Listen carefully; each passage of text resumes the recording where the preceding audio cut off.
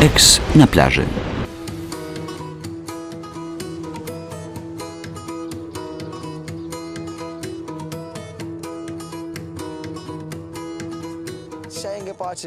Pożegnanie z Wiki było trudne.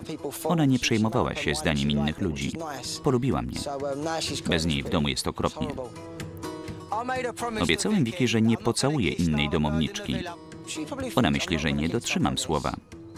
Zobaczy, jak bardzo się myli. Przyjechałem tu, żeby zaliczyć jak najwięcej panienek. Z Megan będzie ciężko, bo jest Jordan. Skupię się na innej. Ali jest w moim typie. Ma piękne oczy.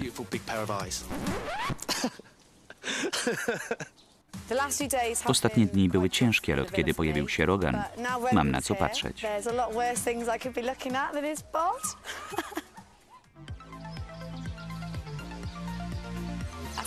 Nie trzymaliśmy się za ręce. Upiliśmy się szampanem.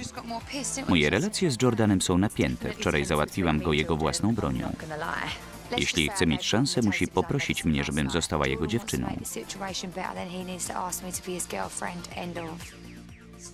Poważnie?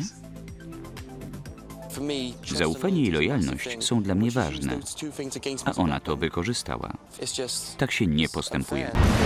Eks na plaży.